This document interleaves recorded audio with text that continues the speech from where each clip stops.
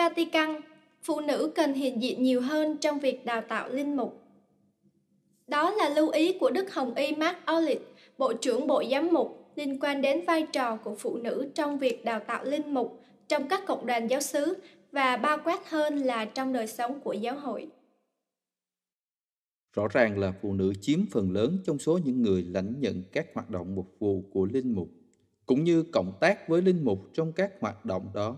Số 151 trong chỉ nam đào tạo linh mục do Bộ Giáo sĩ ban hành vào năm 2016 có viết Sự hiện diện của phụ nữ có giá trị riêng trong tiến trình đào tạo chủng viện, kể cả các việc nhìn nhận sự bổ trợ giữa nam và nữ.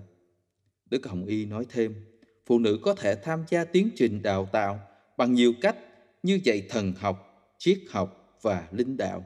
Họ có thể là thành phần của ban đào tạo, đặc biệt là trong việc phân định ơn gọi.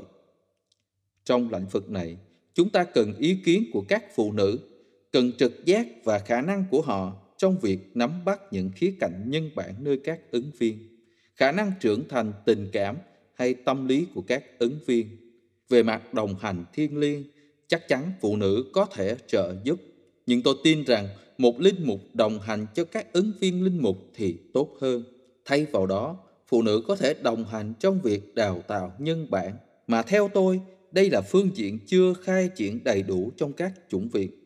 Cần đánh giá mức độ tự do của các ứng viên, khả năng thống nhất bốn chiều kích đào tạo, khả năng thiết lập chương trình sống và căn tính xã hội và tâm lý giới tính của từng ứng viên. Nhưng trong thực tế, theo Đức Hồng Y, Bộ trưởng Bộ Giám mục, thì vấn đề phụ nữ tham gia vào tiến trình đào tạo linh mục vẫn còn nhiều việc phải làm, mô hình giáo sĩ vẫn còn và do đó cần phải có một cuộc cách mạng văn hóa.